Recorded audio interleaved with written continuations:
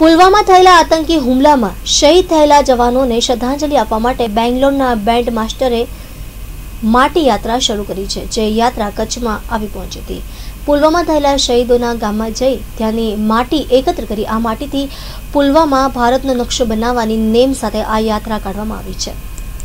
મૂળ બેંગ્લોરના વતની અને હાલમાં ઔરંગાબાદ ખાતે રહેતા એવા યુવાન ઉમેશ જાદવે શહીદોને શ્રદ્ધાંજલિ આપવા માટે માટી યાત્રાનો સંકલ્પ કર્યો છે અને પોતાની કારને પણ આર્મીની જેમ તૈયાર કરીને પુલવામા થયેલા શહીદ જવાનોના વતનમાં જઈ ત્યાંથી માટી એકત્ર કરી પુલવામા ખાતે આ માટીથી ભારતનો નકશો બનાવી શહીદોને શ્રદ્ધાંજલિ આપવા માટે આ યાત્રા શરૂ કરવામાં આવી છે आ, सबसे पहले सभी गुजरात वासियों का मेरे तरफ से नमस्कार और आ, मेरा नाम उमेश गोपीनाथ जाधव मैं औरंगाबाद महाराष्ट्र का हूँ, लेकिन 16 साल से बैंगलोर में हूँ तो मैं ये बैंगलोर से चालू किया। जितने भी पुलवामा के जो शहीद हैं, सबके घर पर मैं जा रहा हूँ, और सिर्फ़ पुलवामा के शहीद नहीं, लेकिन हर एक स्टेट और हर एक यूनियन टेरेटरीज में शहीद है। उनके घर से मैं मिट्टी लेके एक भारत का पहला इंडिया मैप बनेगा पुलवामा में। ये प्रतीक कि हम सब एक है, और भारत के मिट्टी का एक सम्मान है।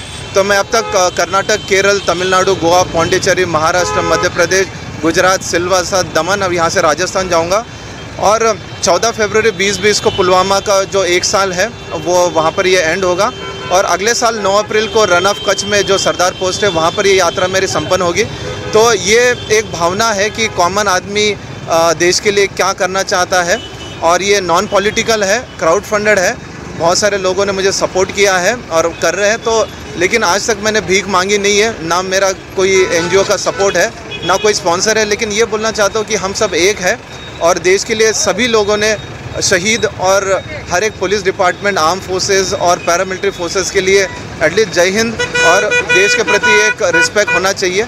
ये भावना से मैं निकला हूँ और ये है कि कॉमन आदमी की जो जो परिस्थिति है, जो लोगों ने समझनी चाहिए कि हम भी देश के लिए बहुत कुछ कर रहे हैं और ये कहीं ना कहीं ये आना चाहिए तो ये एक प्रयास है।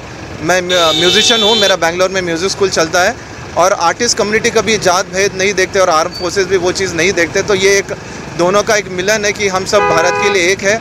जय हिंद, जय भारत।